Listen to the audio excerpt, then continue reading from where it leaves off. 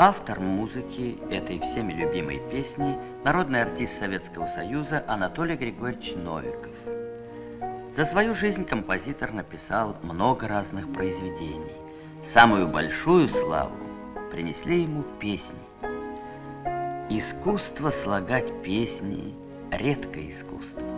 Новиков сочинил не одну сотню песен. В фильме прозвучат самые знаменитые из них.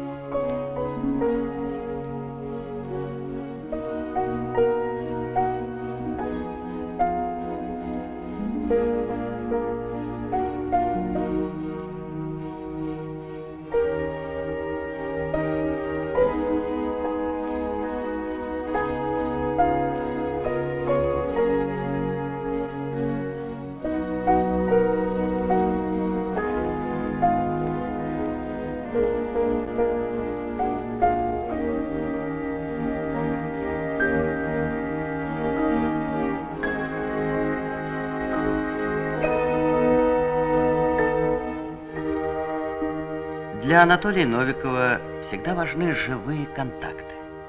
Сейчас мы увидим Анатолия Григорьевича в Московском музыкальном училище имени Ипполитова Иванова в беседе с будущими учителями хорового пения. Значит, о себе несколько слов. Где я родился, как я провел детские свои годы, наверное.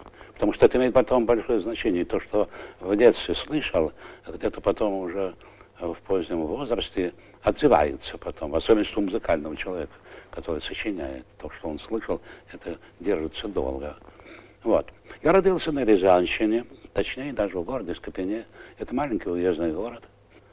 Всего 16 тысяч жителей был, но очень живописный такой. Там у нас было много садов, значит, э, весь город в садах был. И у нас был свой сад, в нем были замечательные яблоки, антоновки, и груши были, бергамот их называли. И даже еще были зеленые груши, такие бессемяновки. Э, их нельзя было кушать, когда они висели на дереве. А потом, когда их, значит, снимут и положат, они наливают соком, вкусные, мягкие делаются и так далее.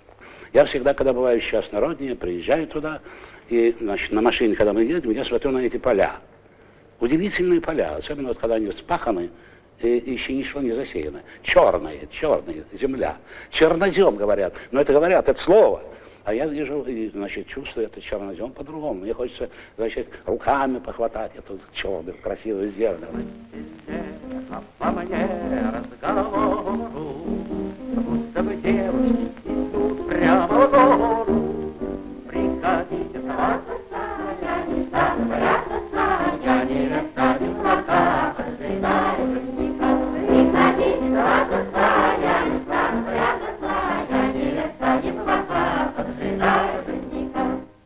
Одна из многочисленных поездок в 50-е годы состоялась у Анатолия Новикова вместе с поэтом Сергеем Васильевым в колхоз «Красный пахарь».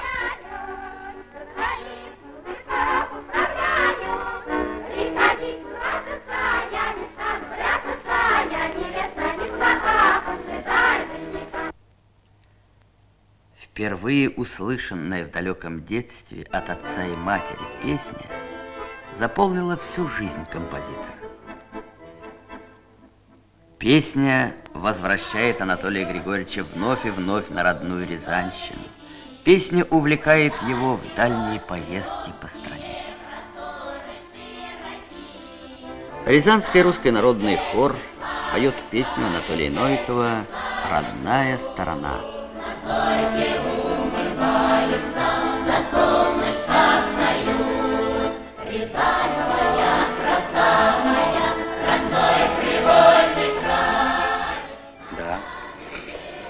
Я не могу, значит, забыть, как я э, мамочка, когда я ее посетил в Копене, в 46 году приехал, разделся, так говорю, мамочки, из колодца из нашего, дай мне водички попить, из. Вот в этом колодце в нашем, в котором все мы пили воду, это значит, вода прошла через эту землю, не через каменистую и песчаную где-то там, а вот через эту хорошую, богатую, красивую землю, черноземную. Вот, наверное, что-то в этом есть и такое, что человек с детства впитывает в себя где-то на родине там соки, так сказать, родной земли. Сердечные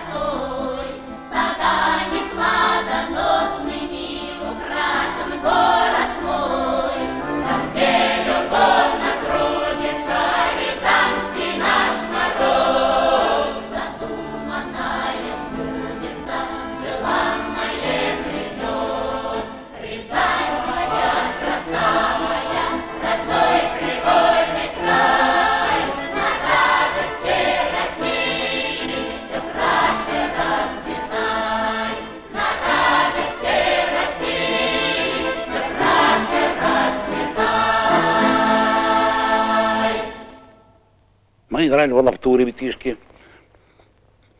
Черный мяч, биток, ударяешь, значит, по мячу, и он летит за, на, на один, на то, на два километра дальше. И бежишь за ним, значит, и догоняешь этот самый мяч. Это огромное удовольствие. Но вот когда убегаешь туда, к железной дороге, к станции, и даже за нее туда дальше, то там были бахчи, там было много обычных девушек рязанских. Они пели песни в это время, во время работы. Это я хорошо запомнил, наши рязанские песни. Они пели про любовь, о, о доле женской, там, в общем, обычные народные наши русские песни, рязанские, на голоса пели, по голосам красиво пели. Вот еще краска, вот такая настоящая народная наша рязанская песня. Я почему об этом, так сказать, говорю?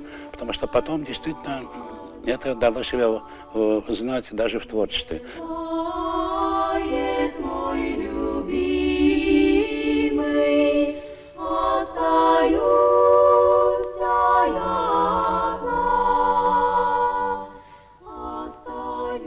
При долине куст калины исполняет эстонский ансамбль Лайне.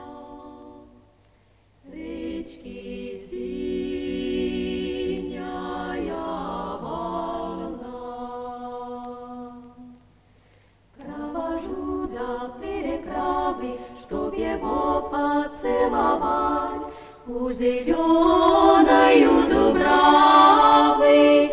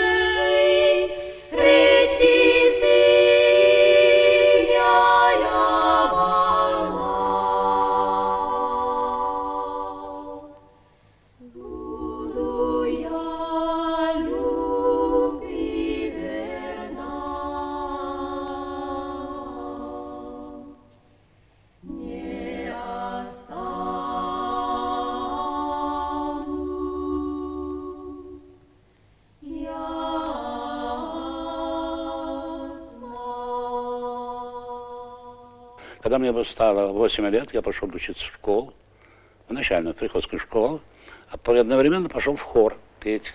У меня дисконт был, хороший голосочек. Но э, учителя были у нас. Приходил регент со смычком и со скрипочкой в школу. И он нас учил петь, учил петь. Голосом управлять, дыханием управлять, нотам даже учил. Ну, это было, конечно, чудно, это чудно. Это с 8 лет, с 9 началось. И потом это у меня и пошло дальше. Потом я поступил учиться уже в Рязань, в учительскую семинарию. Там тоже музыкальная учеба, вот это вот, э, помимо основной учебы общеобразовательной, была хорошо поставлена. Даже я помню э, отрывки из оперы Глинки Иван Сусанин ставили. И даже в сценическом э, виде их ставили. То есть декорации сделали, костюмы, да, и хор пел на сцене, оркестр маленький, и директор играл на рояле, учитель Гусев Сергей Егорович играл на скрипке. Хотелось им, значит, чтобы мы, когда кончали учительскую семинарию, и выходили учителями, и шли, значит, в сельские учителя в школу, чтобы мы, значит, и музыку туда принесли тоже. Не только учили ребят грамоте, значит, и математике, арифметике, что ли, но и вот, значит, чтобы искусство с нами ушло в села. Осенью в 1921 году поступил э, в Большую консерваторию государственную, о чем я, так сказать, мечтал давно, в предыдущие годы, чтобы поступить туда учиться я принес, э, с чем я поступал, я принес целую папку своих сочинений. Там были хоры, песни разные написаны.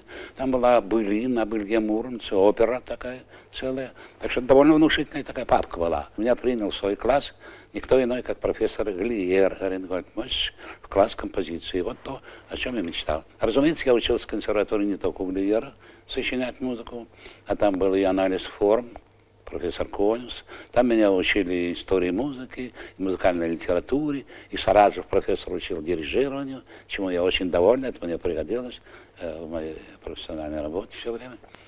Это была интереснейшая учеба, и много она мне дала. Многое дала. В частности, работа на, по полифонии. Вот по полифонии, это когда одновременно звучат много разных голосов. Это сложное, но и очень красиво. Там есть какие-то закономерности, как это должны располагаться мелодии, эти голоса перекрещиваться между собой. Вот это все надо было изучать, много упражнений писать, чтобы постигнуть и потом где-то, значит, использовать в своей работе. Веселый пир Новикова на слова Пушкина исполняет Государственный московский хор, художественный руководитель Владислав Соколов.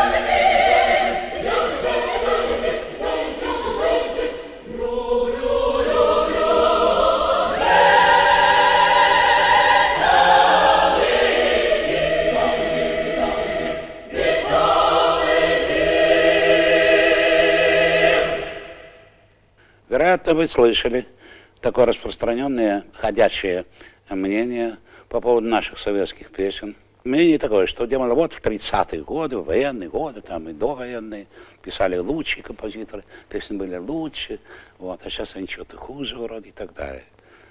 Ну, да мы не будем вдаваться в такую дискуссию подробную, но какая-то доля значит, э, э, правды есть в этих суждениях.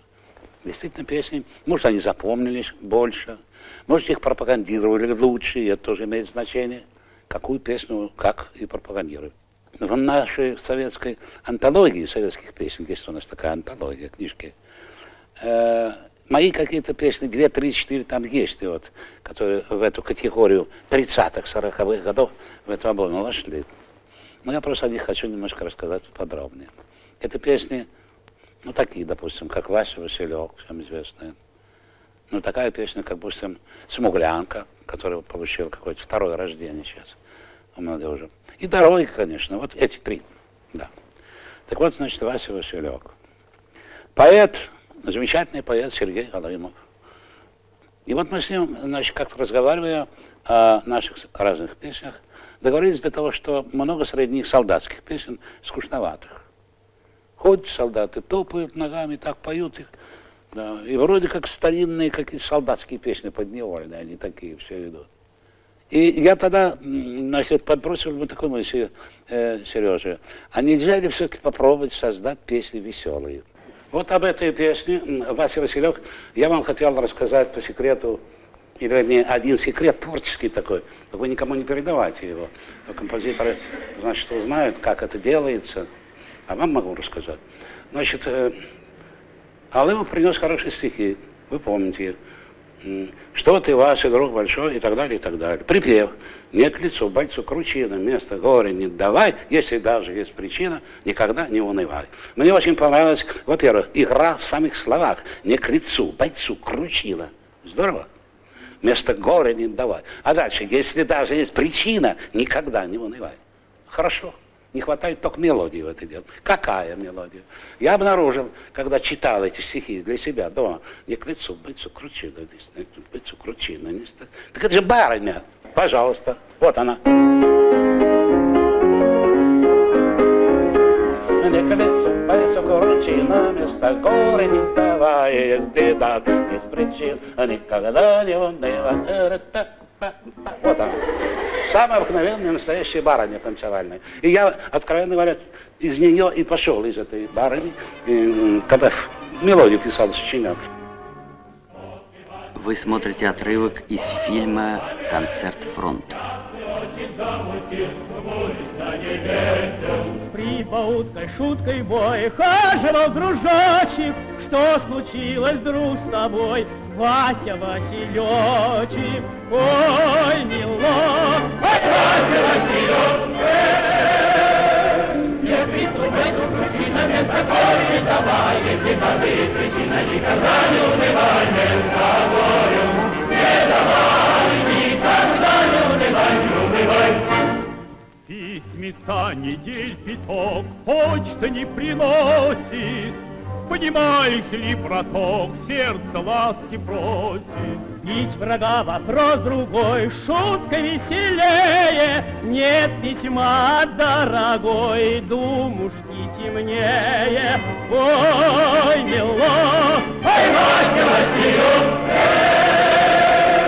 не к лицу пойду место горы не давай, если даже есть причина, никогда не унывай, место горю не давай, никогда не унывай, не унывай. Не захочет написать, значит, позабыла, Значит, надо понимать, вовсе не любила. Что ты, Вася, друг большой, зря себя так мучишь, Если любит всей душой, весточку получишь. Ой, милок, ой, Вася Василек, не крицу бойцу причина, место не давай, если даже есть причина, никогда не умирай, место горю не давай, никогда не унывай, не унывай. Прикрывай плечо плечо, дружба остается, если сердце горячо, девушка найдется. Нынче больно не тужи, забывай денечек, выше голову держи, Вася Василечек.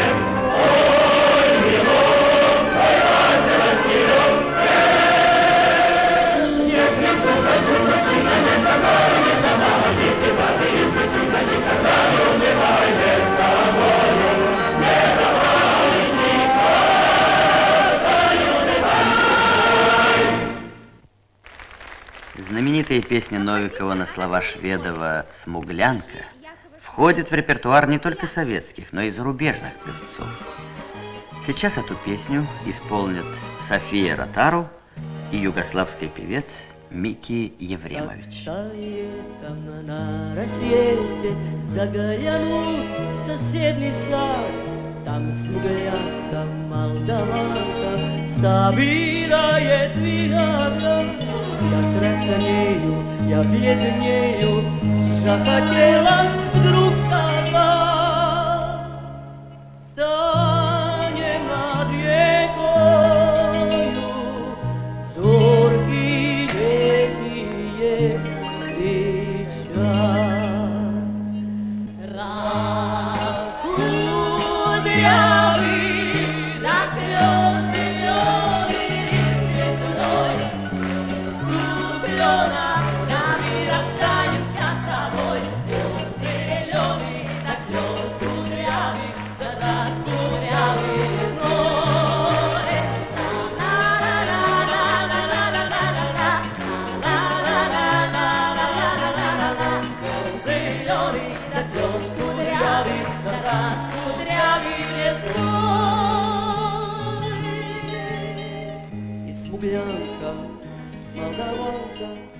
Чем объяснить, что песня, созданная в 43 году, во время войны, в очень трудном году, «Смуглянка» на стихи Шведова, вдруг, значит, через 30 лет э, еще заново, значит, вспыхивает, и молодежь ее поет и играет с этими своими гитарами, значит, вот в мол- молодежных оркестрах и так далее.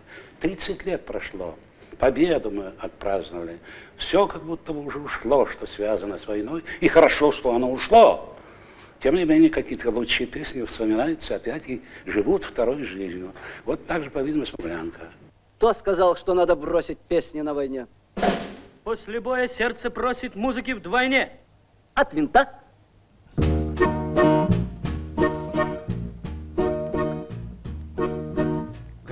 В современном фильме о Великой Отечественной войне «В бой идут одни старики» звучит знакомая всем «Смуглянка». Я краснею, я бледнею, захотелось вдруг сказать, Станем над рекою зорьки летние встречать. Раскудрявый клен зеленый лист резной, Я влюбленный и смущенный пред тобой. Клен зеленый, да клен кудрявый, да раскудрявый резной. Раскудрявый клен зеленый лист резной, влюбленный и смущенный пред тобой. Клен зеленый, да клен кудрявый, да раскудрявый резной. А смуглянка, молдаванка Отвечала парню лад Партизанский, молдаванский Собираем мы отряд. Нынче рано партизаны Дом покинули родной. Ждет тебя дорога К партизанам в лес густой. Раскудрявый клен зеленый лист резной. Здесь у клена мы расстанемся с тобой. Клен зеленый, да клен кудрявый Да раскудрявый резной Раскудрявый клен зеленый лист резной Здесь у клена мы расстанемся с тобой Клен зеленый, да клен кудрявый Да раскудрявый резной Не раскрыта тайна рождения песни, предназначенной для долгой жизни и всенародной любви. Загадочной бывает песенная судьба и для самих авторов. «Дороги» писались Анатолием Новиковым и поэтом Львом Ашаниным как очередная песня в концертную программу. Но в четырех ее куплетах уместилась вся боль утрат. Сошлись все трудные дороги войны. Эта песня объединяет людей. Эх, дороги, пыль да туман, холода, тревоги, да степной бурьян. Знать не можешь доли своей, может, крылья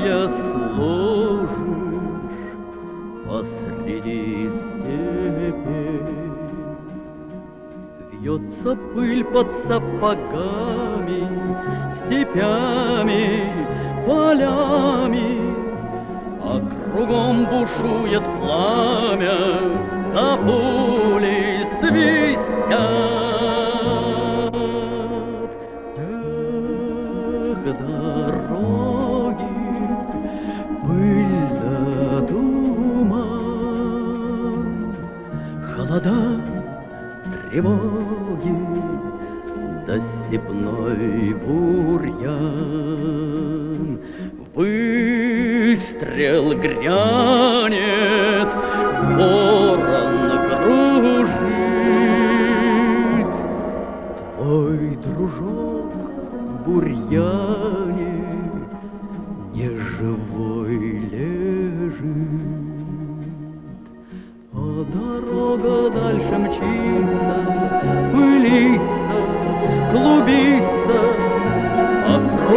земля дымится, чужая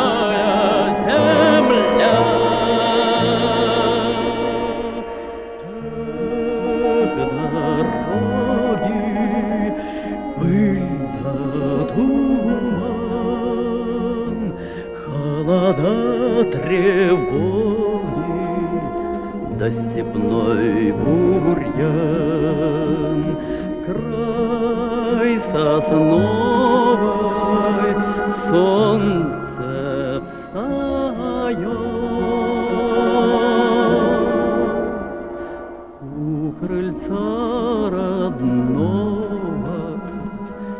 мать сыночка ждет. И бескрайними путями, степями, полями Все глядят во след за нами родные глаза.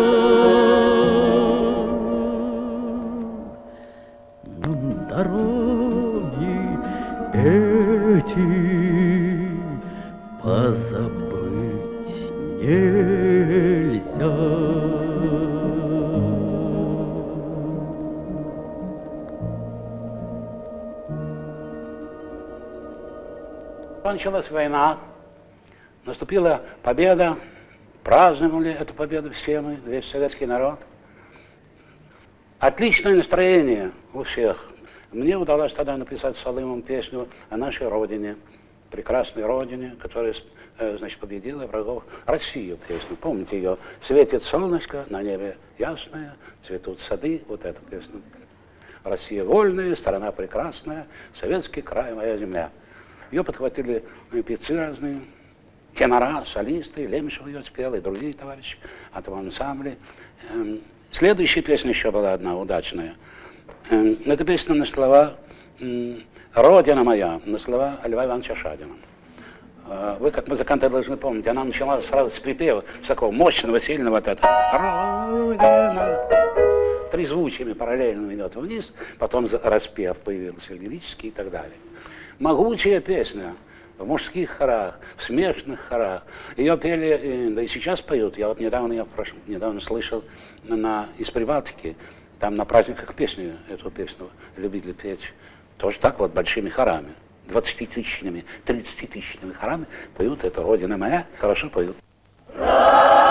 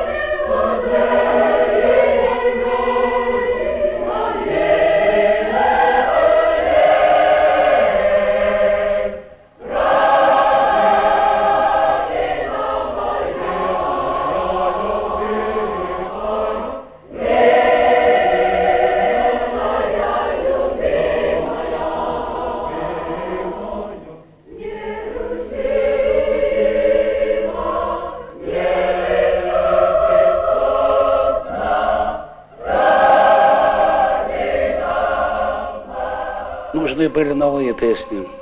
Значит, после этой победы песни, которые бы воодушевляли народ на борьбу за мир. Этот сюжет снят кинохроникой в 1949 году.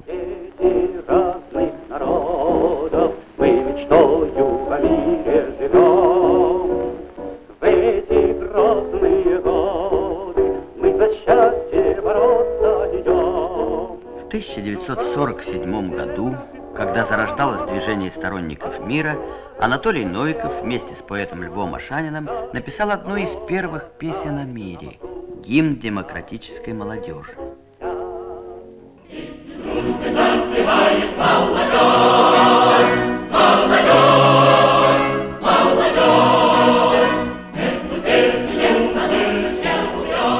Гимном эта песня стала не сразу. Сначала она называлась «Маршем», и среди других песен была направлена в Прагу на первый Всемирный фестиваль молодежи. Песня распространилась с необыкновенной быстротой. Ее пели на улицах, в трамваях, на площадях. Она была подхвачена всеми участниками фестиваля. Через два года на втором Всемирном фестивале молодежи марш стал гимном демократической молодежи. Я помню, значит, финал этого дела в Берлине. Это уже 51 год, фестиваль там тоже был такой. Я был там как член жюри от наших московских композиторов. Э, значит, э, и вот на стадионе, когда, значит, закрывали фестиваль, флаг спущен, речи все сказаны, оркестр сыграл это самое выступление, там, там, там, там, та И весь стадион встал, как один, и запели на всех языках эту песню. Больше всего немецкий был слышен. Юген, Анен, Стационен и так далее. Разные. Потом наши товарищи немецкие нам рассказали, знаете, вот сколько народу там пели? Больше, чем миллион. На Унтердерлинден, на, на этом на стадионе, на пробегающих улицах. Таким образом, для меня вот фраза, когда мы говорим о массовых своих песнях, о наших песнях, что ее поют песню сотни, тысячи, миллионы там и так далее. Это не простая фраза, это было, это факт. Surge el canto de la humanidad. Vibra toda la tierra con este himno de fraternidad. Juventudes del mundo, este coro fecundo, surge potente, se eleva ardiente, exigiendo libertad. Es mi.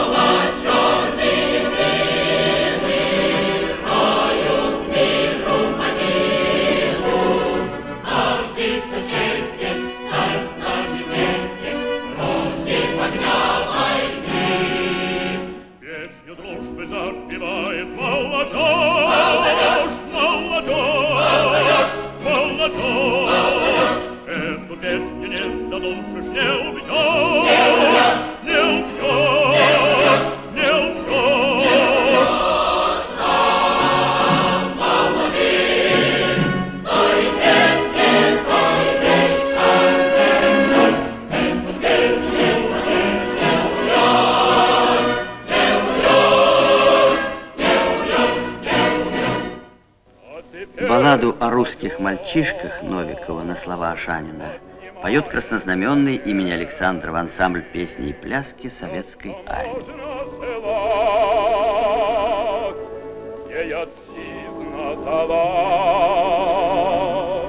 Наш чужих полигонов, бездомной планеты, Теперь грозит уничтожить всю землю дотла.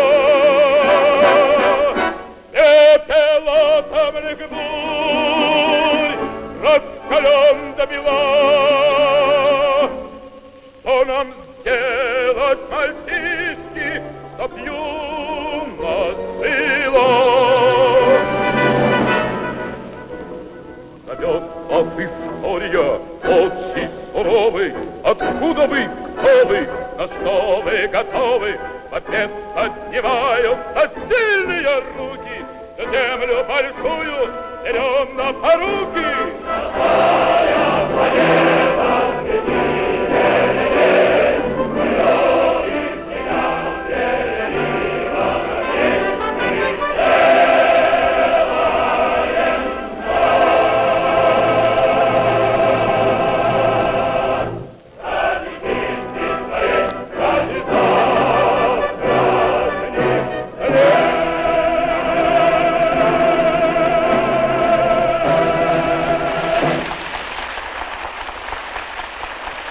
могу не рассказать еще об одной песне, вот послевоенного периода, которая мне так думается, что удалась, так сказать, нам, судя по тому, что ее полюбили, эту песню и довольно много и часто поют. Значит, обстановка, откуда песня пошла. Появлялись новые, э, значит, в этих вот, у рабочих ребят, у молодежи. В том числе у тех, которых мы, с которыми познакомились. Это депо, сортировочное, вот так металлисты, металлурги. Они там организовали бригаду коммунистического труда. Это было новое. Сейчас мы привыкли к этому, говорим так, как будто это было тысячу лет назад. А я вот хорошо помню, когда это было первый раз сказано. Что Ира, вы собираетесь? Бригада коммунистического труда. Я тогда пригласил поэта Володю Харитонова. И вот мы стали размышлять. Надо как-то это сделать так, чтобы песня появилась. Это все-таки, уж тогда чувствовали, что нету какой-то такой еще новой песни вот о рабочем классе, о молодежи, о труде, связанном с этим делом. Ну, мы ее мудрили, мудрили долго, как и так, и это, правда, наконец нашли вот эти слова «будет людям счастье, счастье на века». В одной из первомайских демонстраций, я это хорошо очень помню, парад значит, начинался э, от э, этого, перед Мавзолеем, от исторического музея, стояла Москва, со, знак, со знаменами, все наши москвичи стояли, и потом, значит, они грянули для начала эту песню, без оркестра. А капелла, как у нас говорят, взяли и запели «Будет людям» и пошли. Будет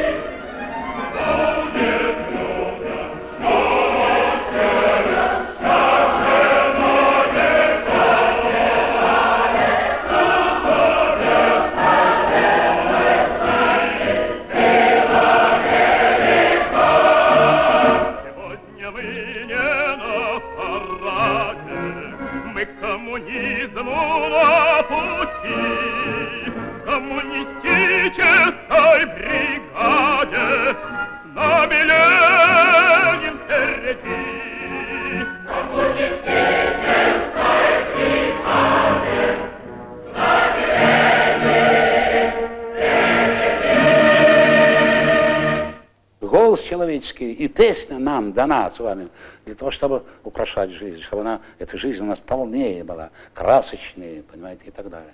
Мы объединяем сами себя, когда ходим молча, не поем.